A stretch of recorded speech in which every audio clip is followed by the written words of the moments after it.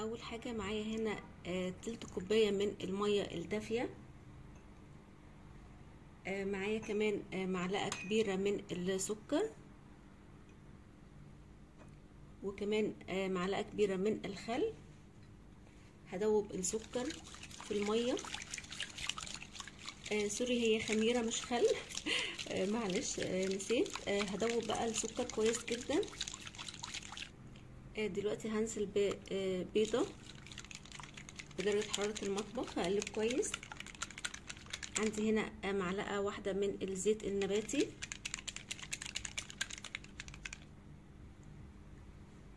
معايا كوبايتين من الدقيق. عليهم رشة من الملح نص معلقة صغيرة ونص معلقة صغيرة من ال baking powder. معلقة كبيرة من الحليب ال powder. لو إحنا حطينا في الأول خالص لبن بدل المية. ممكن نستغنى عن معلقة اللبن ال powder. دلوقتي هنعجن. دلوقتي بقى هعجن الحاجات بتاعتي. الخليط بتاعي كويس جدا. مدة حلوة كده مش أقل أقل حاجة خمس دقايق. ممكن يبقى أكتر. وطبعا لو احتاجنا شوية مية هنزود علشان كل نوع دقيق بيختلف عن نوع التاني.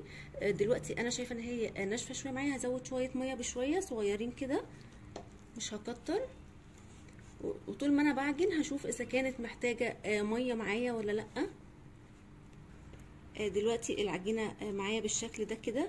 هحط لها معلقة واحدة بس من الزبدة كده وأرجع بقى أعجن تاني خمس دقايق كمان. بقى هغطيها وأسيبها.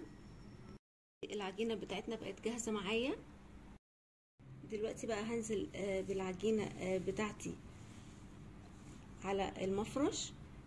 شايفين بقى قد إيه هي خفيفة جدا وحلوة جدا جدا.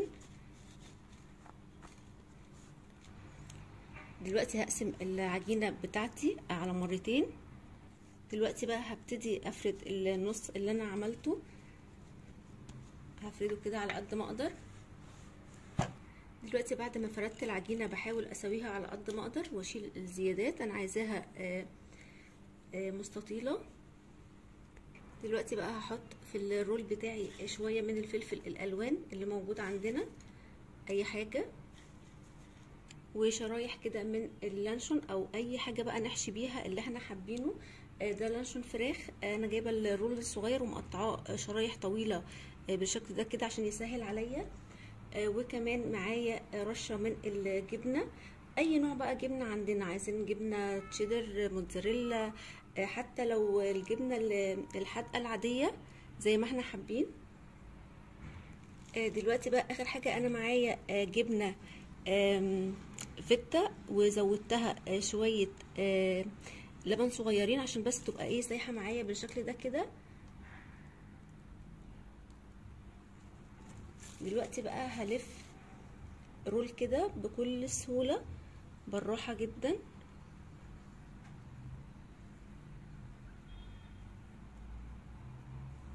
دلوقتي هلف العجينة كمان لفة بالشكل ده كده. زي ما قلنا الحشوة طبعا اللي إحنا حابينها ما مش هنتقيد بحشوة معينة بالشكل ده. بقى جاهز معانا الرول. دلوقتي بقى هقسم العجينة زي ما أنا حابة الحجم اللي أنا عايزاه. أنا عايزاها صغيرة نوعا ما بالشكل ده كده.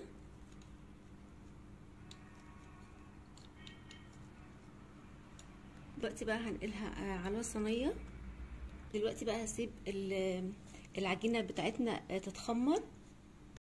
الفطاير بتاعتنا بعد ما اتخمرت بقت جاهزة معانا. أنا هدهن بس الوش دهنة بسيطة. معايا هنا الدهان عبارة عن إيه؟ عن معلقة من الزيت معلقة من الحليب البودر معلقة من اللبن السايل.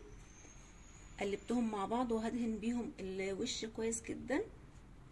طبعا اللي حابب يدهن بيض براحته. اللي حابب يدهن زبدة برضو دي حرية شخصية. اللي أنتوا حابينه اعملوه.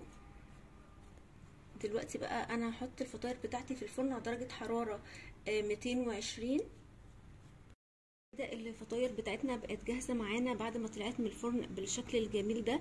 شكلها وطعمها تحفة يجننوا والحشوة من جوه بجد حلوة جدا.